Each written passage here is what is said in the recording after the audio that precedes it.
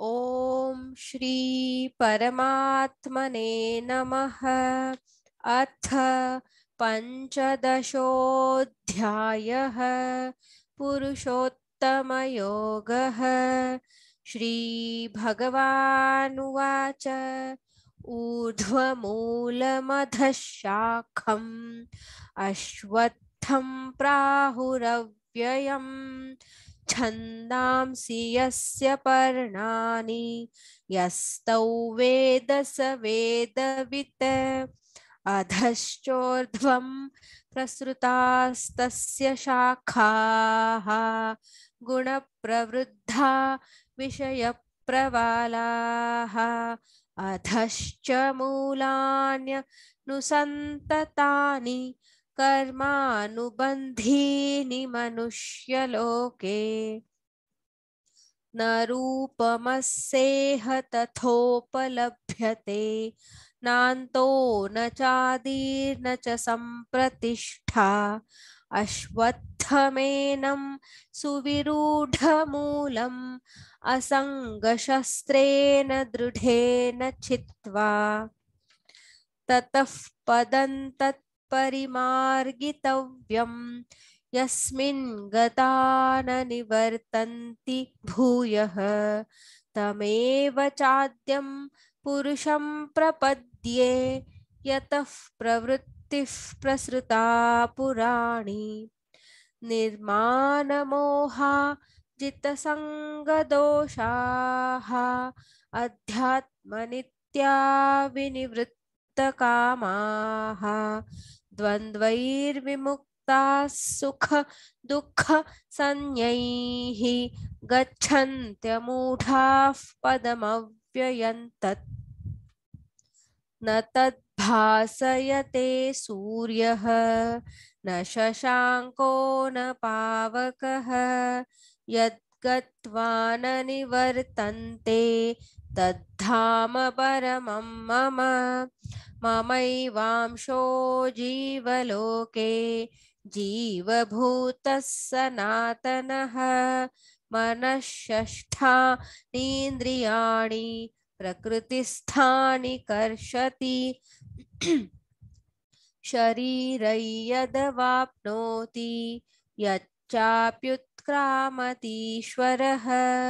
गृहीत्वैतानि संयाति, वायुर्गन्धानि वाशयात्, श्रोत्रं चक्षुस्पर्शनं च, रसनं घ्राणमेव च, अधिष्ठाय मनश्चायं, विषयानुपसेवते, उत्क्रामन्तं स्थितौ स्थितौ वापि भुञ्जानौ वा गुणान्वितं विमूढानानुपश्यन्ति। पश्यन्ति ज्ञानचक्षुषः। यतन्तो योगिनश्चैनं पश्यन्त्यात्मन्यवस्थितं यतन्तोऽप्यकृतात्मानः नैनं पश्यन्त्यचेतसः। यदादित्यगतं तेजः जगद्भासयतेऽखिलं यच्चन्द्रमसि यच्चाग्नौ तत्तेजो विद्धि मामकं गामाविश्य च भूतानि पुष्णामि चौषधीः सर्वाः। सोमो भूत्वा रसात्मकः। अहौ वैश्वानरो भूत्वा प्राणिनां देहमाश्रितः। प्राणापानसमायुक्तः। पचाम्यन्नं चतुर्विधम्।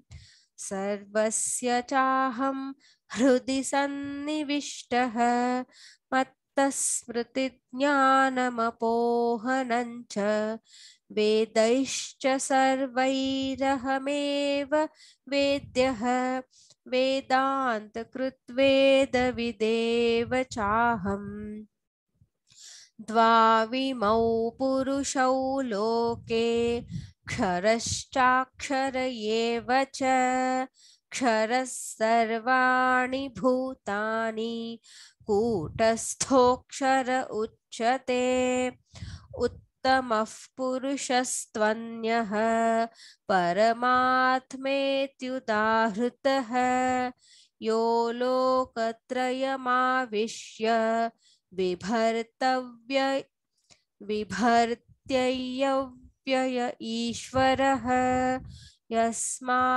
यस्मात्क्षरमतीतोऽहम् अक्षरादपि चोत्तमः अतोऽस्मि लोके वेदे च प्रथितः पुरुषोत्तमः यो मामेवमसम्मूढः जानाति पुरुषोत्तमम् स, सर्वविद्भजति माँ सर्वभावेन भारत।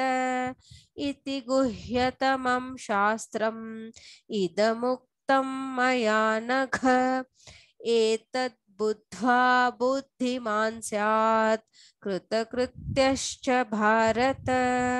ॐ तत्सदिति श्रीमद्भगवद्गीतासु उपनिषत्सु ब्रह्मविद्यायां योगशास्त्रे श्रीकृष्णार्जुनसंवादे पुरुषोत्तमयोगो नाम पञ्चदशोऽध्यायः।